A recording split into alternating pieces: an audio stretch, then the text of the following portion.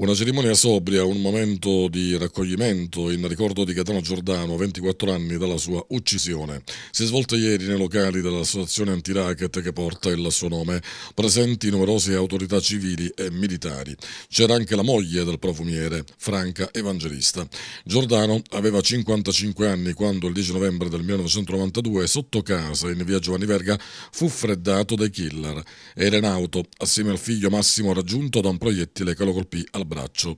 Giordano aveva sfidato la mafia gelese dicendo no alle estorsioni.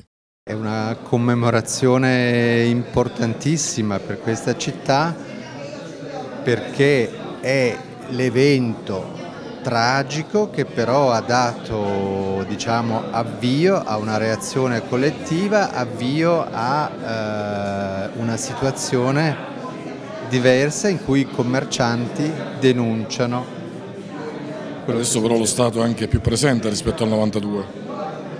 È più presente, sì è vero, ma è meglio non, non, non abbassare la guardia. Gaetano Giordano, un eroe che oggi è doveroso ricordare perché ha instillato nel, nel popolo gelese insomma, quella, quella, voglia di riscatto che poi oggi è sotto gli occhi di tutti. Un ringraziamento particolare va proprio alla città, della comunità gelese, perché è la comunità che ha dimostrato di saper reagire, di saper dare una risposta anche grazie all'aiuto delle istituzioni.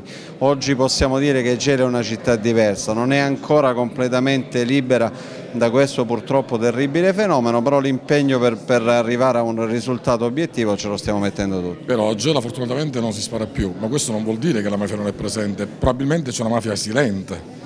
Ma i risultati lo dicono, purtroppo è ancora presente, radicata e perniciosa sul territorio. I risultati sono quotidiani, ma l'attenzione anche delle forze di polizia è quotidiana, quindi contiamo di dare un grande contributo a questa città. Il presidente dell'antiracket di Gela, Renzo Caponetti. Ci sono tanti commercianti e tanti imprenditori che attualmente non denunciano. E noi siamo qui per questo, per aiutarli ancora di più ad alzare la testa dal gioco mafioso e questo si può fare semplicemente di essere tutti uniti assieme ed essere più forti, perché prima una volta quando eravamo soli ci individuavano e a volte anche qualcuno veniva ucciso, adesso questo pericolo non c'è più. Ha mai avuto paura, timore dell'attività che svolge?